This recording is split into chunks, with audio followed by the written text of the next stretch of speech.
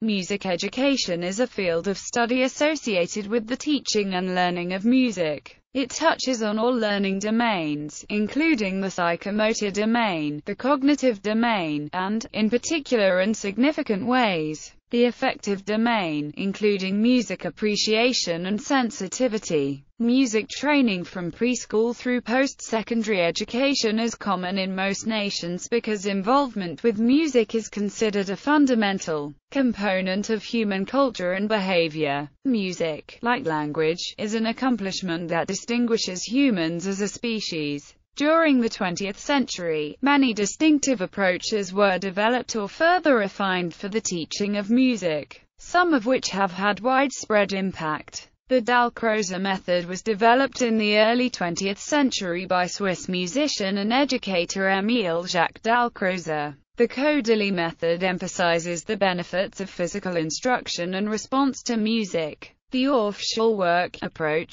to music education leads students to develop their music abilities in a way that parallels the development of Western music. The Suzuki method creates the same environment for learning music that a person has for learning their native language. Gordon Music Learning Theory provides the music teacher with a method for teaching musicianship through audiation. Gordon's term for hearing music in the mind with understanding. Conversational solfege immerses students in the musical literature of their own culture, in this case American. The Carabo-Cone method involves using props, costumes, and toys for children to learn basic musical concepts of staff, note duration, and the piano keyboard. The concrete environment of the specially planned classroom allows the child to learn the fundamentals of music by exploring through touch. Popular music pedagogy is the systematic teaching and learning of rock music and other forms of popular music both inside and outside formal classroom settings.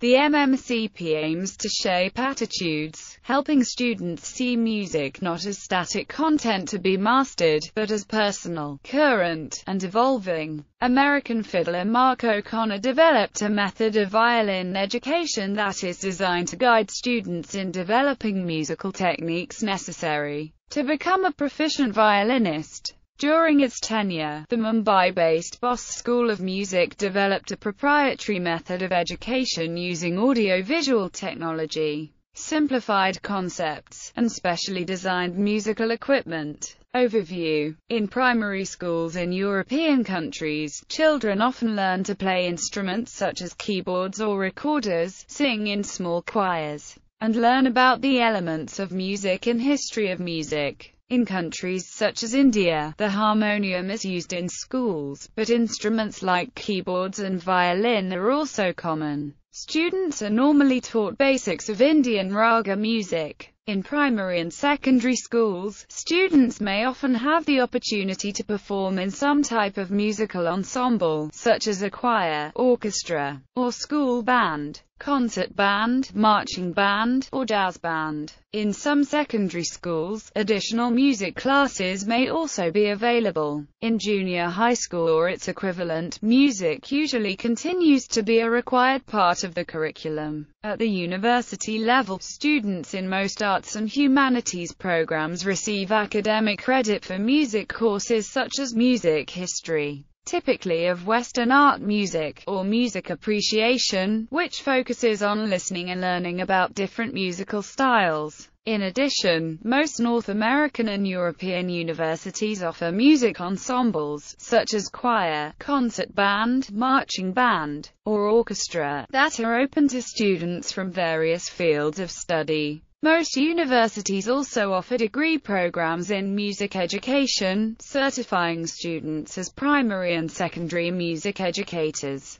Advanced degrees such as the DMA or the PhD can lead to university employment. These degrees are awarded upon completion of music theory, music history, technique classes, private instruction with a specific instrument, ensemble participation, and in-depth observations of experienced educators. Music education departments in North American and European universities also support interdisciplinary research in such areas as music psychology, music education historiography, educational ethnomusicology, sociomusicology, and philosophy of education. The study of Western art music is increasingly common in music education outside of North America and Europe including Asian nations such as South Korea, Japan, and China. At the same time, Western universities and colleges are widening their curriculum to include music of outside the Western art music canon, including music of West Africa, of Indonesia, Mexico, Zimbabwe, as well as popular music. Music education also takes place in individualized, lifelong learning, and in community contexts.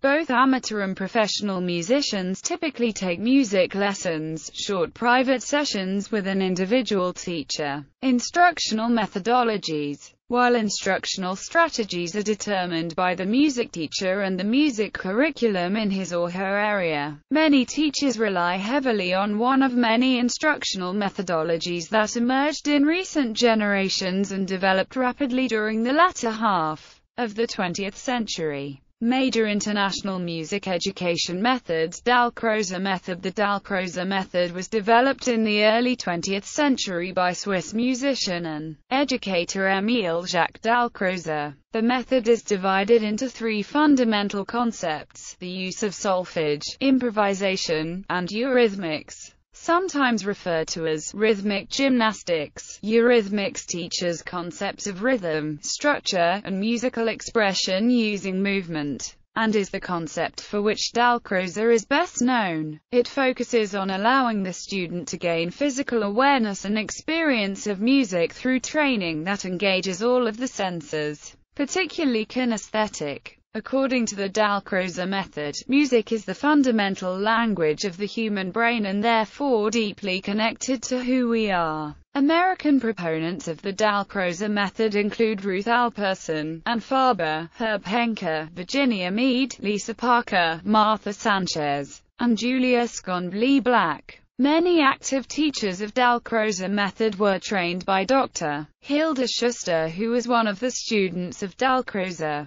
Kodaly method Zoltán Kodaly was a prominent Hungarian music educator and composer who stressed the benefits of physical instruction and response to music. Although not really an educational method, his teachings reside within a fun, educational framework built on a solid grasp of basic music theory and music notation in various verbal and written forms.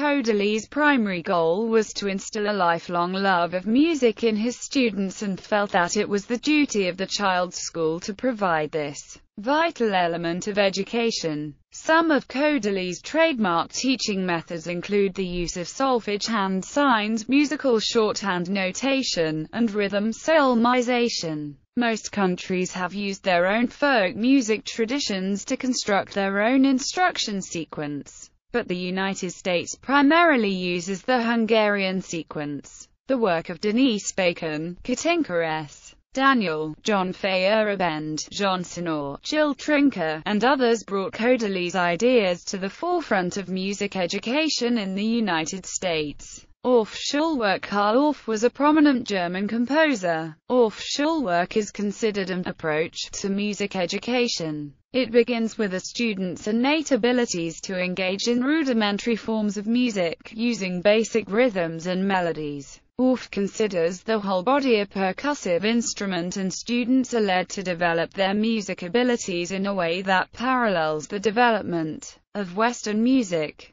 The approach fosters student self-discovery, encourages improvisation, and discourages adult pressures and mechanical drill. Carl Orff developed a special group of instruments, including modifications of the glockenspiel, xylophone, metallophone, drum, and other percussion instruments to accommodate the requirements of the Schulwerk courses. Experts in shaping an American-style Orff approach include Jane Frazee, Arvida Steen, Judith Thomas, and many more. Suzuki method The Suzuki method was developed by Shinichi Suzuki in Japan shortly after World War II, and it uses music education to enrich the lives and moral character of its students. The movement rests on the double premise that all children can be well educated in music, and that learning to play music at a high level also involves learning certain character traits or virtues which make a person's soul more beautiful. The primary method for achieving this is centered around creating the same environment for learning music that a person has for learning their native language. This ideal environment includes love, high-quality examples, praise, rote training and repetition, and a timetable set by the student's developmental readiness for learning a particular technique. While the Suzuki method is quite popular internationally, within Japan its influence is less significant than the Yamaha method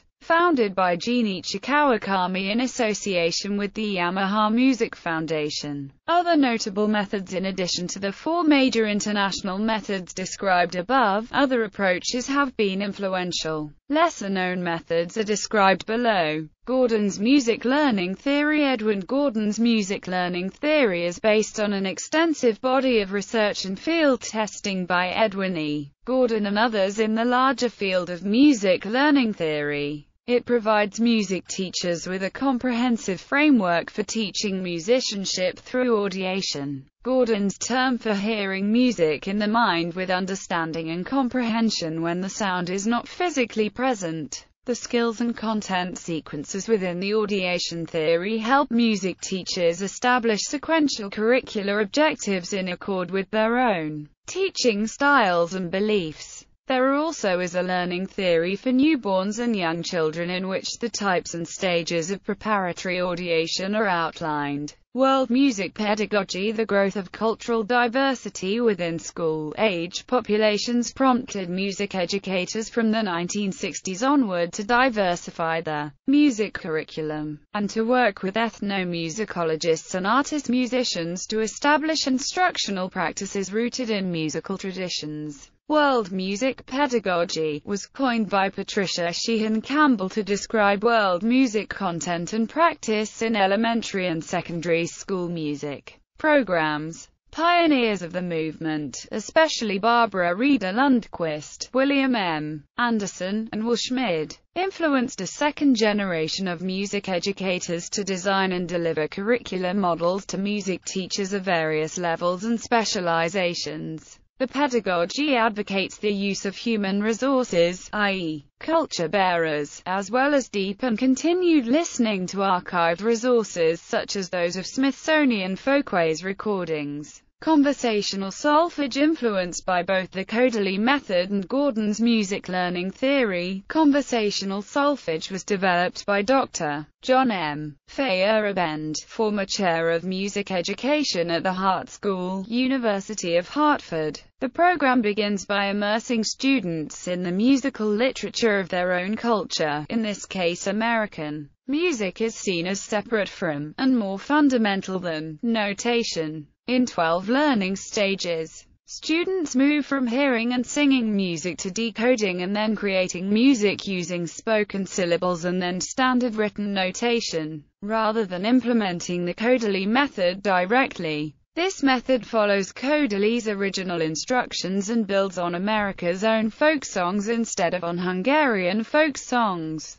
Carabo-Cone method. This early childhood approach, sometimes referred to as the sensory-motor approach to music, was developed by the violinist Madeleine Carabo-Cone. This approach involves using props, costumes, and toys for children to learn basic musical concepts of staff, note duration, and the piano keyboard. The concrete environment of the specially planned classroom allows the child to learn the fundamentals of music by exploring through touch, Popular music pedagogy. Popular music pedagogy, alternatively called rock music pedagogy, modern band, popular music education, or rock music education, is a recent development in music education consisting of the systematic teaching and learning of rock music and other forms of popular music both inside and outside formal classroom settings. Popular music pedagogy tends to emphasize group improvisation, and is more commonly associated with community music activities than fully institutionalized school music ensembles. MMCP The Manhattanville Music Curriculum Project was developed in 1965 as a response to declining student interest in school music. This creative approach aims to shape attitudes, helping students see music not as static content to be mastered, but as personal, current, and evolving. Rather than imparting factual knowledge, this method centers around the student, who learns through investigation, experimentation, and discovery.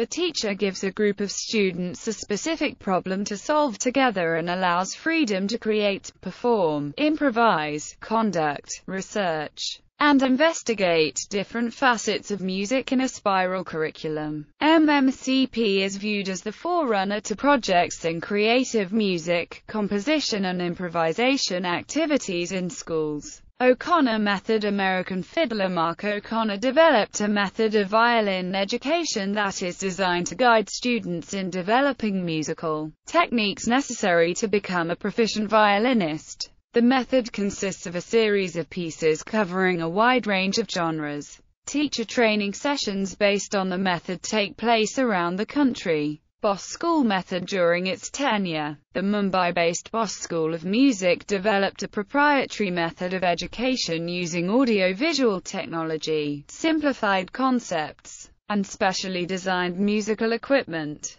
They trained novice students for standardized electronic keyboard graded examinations conducted by Trinity College London, requiring only three to six months of training using their methods. Traditional methods required up to eight years to prepare students for testing. Dr. Vidyadhar Vyas, head of the music department at the University of Mumbai, claimed that they revolutionized music learning by teaching complex musical concepts in short periods of time. They also trained a few young children ages 6 to 10 for the Trinity College Grade 8 examination. After passing the examination, the students were reportedly considered child prodigies. Although the Boss School method is not formally documented, various notable musicians in Mumbai such as Louis Banks agreed that the school had developed a revolutionary technique. Some controversy has surrounded the school and its methods.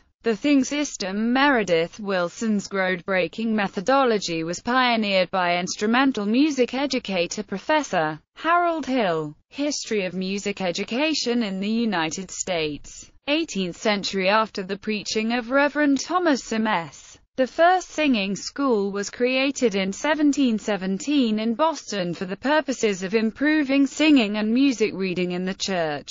These singing schools gradually spread throughout the colonies. Music education continued to flourish with the creation of the Academy of Music in Boston. Reverend John Tufts published an introduction to the singing of psalm tunes using non-traditional notation which is regarded as the first music textbook in the colonies. Between 1700 to 1820, more than 375 tune books would be published by such authors as Samuel Holyoke, Francis Hopkinson, William Billings, and Oliver Holden. Music began to spread as a curricular subject into other school districts. Soon after music expanded to all grade levels and the teaching of music reading was improved until the music curriculum grew to include several activities in addition to music reading. By the end of 1864 public school music had spread throughout the country. 19th century In 1832,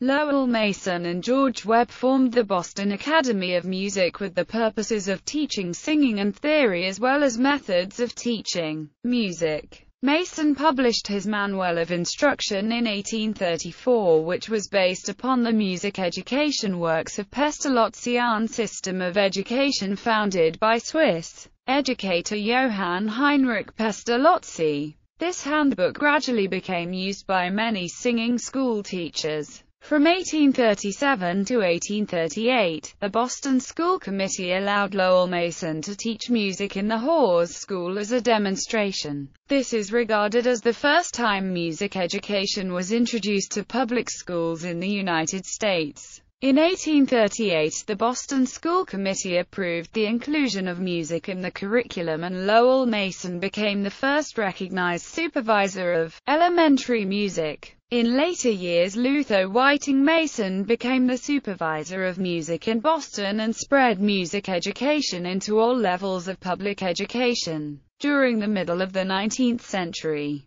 Boston became the model to which many other cities across the United States included and shaped their public school music education programs. Music methodology for teachers as a course was first introduced in the normal school in Potsdam. The concept of classroom teachers in a school that taught music under the direction of a music supervisor was the standard model for public school music education during this century. While women were discouraged from composing in the 19th century, later, it was accepted that women would have a role in music education and they became involved in this field, to such a degree that women dominated music education during the later half of the 19th century and well into the 20th century, early 20th century in the United States. Teaching colleges with four-year degree programs developed from the normal schools and included music. Oberlin Conservatory first offered the Bachelor of Music Education degree. Osborne G. McConathy, an American music educator, introduced details for studying music for credit in Chelsea High School. Notable events in the history of music education in the early 20th century also include founding of the Music Supervisors National Conference in Keokuk, Iowa in 1907.